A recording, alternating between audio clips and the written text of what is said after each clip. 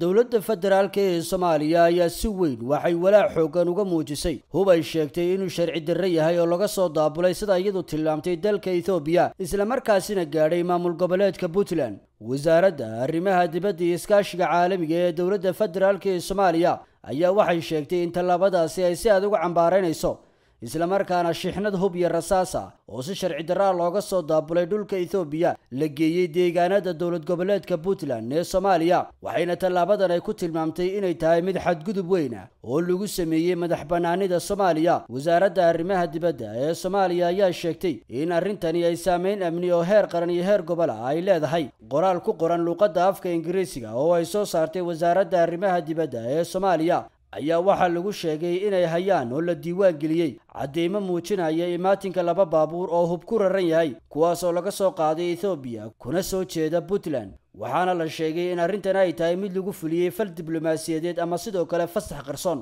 Waxayna wasaaraddu ay sheegtay inay tani muujinayso inay tahay xadgudub cad oo lagu sameeyey madax bannaanida dhuleed ee soomaaliya dowladda soomaaliya waxay sheegtay inay walaac weyn ay ka qabto sida ay ethoobiya ugu hoggaansanaan la'aan tahay shuruucda caalamiga iyo sida ay ugu heelan tahay xasilooni darrida gobolka. Dhacdadii ugu dambeysay ayaa ay wasaaradda arrimaha dibadda ee soomaaliya tusaale waxay ugu soo qaadatay inay jiraan shixnado huba oo etoobiya laga soo qaaday kuwaasoo la geeyey dowlad goboleedka galmudug iyo sidoo kale kuwo kale oo diyaarad lagu qaadiyo oo iyagana si qarsoodiya loo geliyey baydhabo. Soomaaliya waxay sheegtay inay dalbanayso in si deg dega loo joojiyo xadgudubyadaasi maadaama ay khatar gelinayaan bay jiri nabadda geeska afrika oo dhan. Waxay sidoo kale wasaaradda arrimaha dibadda ee soomaaliya ay ugu baaqday saaxiibada gobolka iyo kuwa caalamiga ahba inay si adag u cambareeyaan xadgudubkan. Qoraalkan ka soo baxay wasaaradda arrimaha dibadda ee soomaaliya ayaa waxa uu ka dambeeyey kadib markii dowlad goboleedka puntland ay hub ka soo iibsatay dowladda ethoobiya islamarkaasina sida warbaahinta gudaha ee dowlad goboleedka puntland ay soo warinayaan hubkaasina uu nabad ku gaadhay saaka dowlad goboleedka puntland waxaana sidoo kale wararka soo baxaya tilmaamayaan